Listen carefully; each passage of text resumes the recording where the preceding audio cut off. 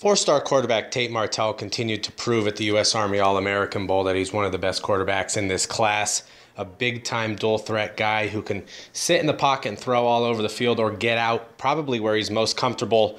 Uh, throw on the run. He's actually more accurate throwing on the run, I think, or moving around and, and gaining yards with his feet.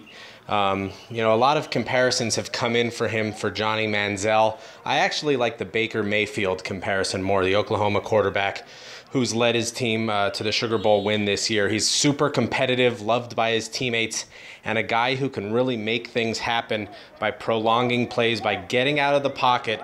And it looks sometimes like a little bit of a wild pass, but it go- gets right to his receiver in stride and uh, Martell reminds me very much of Mayfield in that sense. He's constantly under control on the field, even though he's running around. And then on the run, he throws such a beautiful pass down the field uh, that sometimes you're amazed that uh, he could see those receivers and then get the ball to them in stride. So he's had another good week. I think you know his test at Ohio State uh, is going to be getting on the field early, being patient if he doesn't, and then once he does, being able to sit in the pocket and throw to receivers, but really be able to use that offense to extend plays with his feet, move around, throw on the run, and be consistent in a very competitive conference.